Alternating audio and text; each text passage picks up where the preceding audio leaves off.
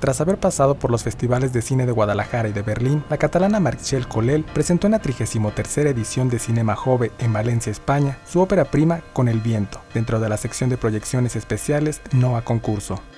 La bailarina Mónica García y Concha Canal, actriz revelación a sus 89 años, protagonizan este filme que mezcla danza, arte documental y cine de autor sobre lazos familiares de un universo predominantemente femenino.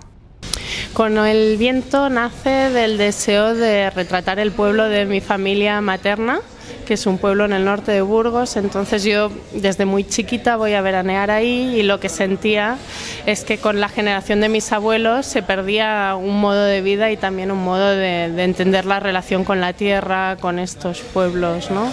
Entonces quería retratar antes de que muriera del todo esa generación, el pueblo, el espacio a través de esa generación y por otro lado también yo había vivido dos años y medio en Buenos Aires y quería hablar de lo que uno transita cuando está lejos, ¿no? lo que pasa, como esta, lo que es la desconexión cuando estás lejos de tus raíces. En el filme, Mónica, una bailarina de 47 años, recibe una llamada desde España. Su padre está muy enfermo. Tras 20 años, Mónica se ve obligada a volver al remoto pueblo de Burgos en el que nació. Al llegar, su padre ha muerto y su madre le pide que le ayude a vender la casa familiar.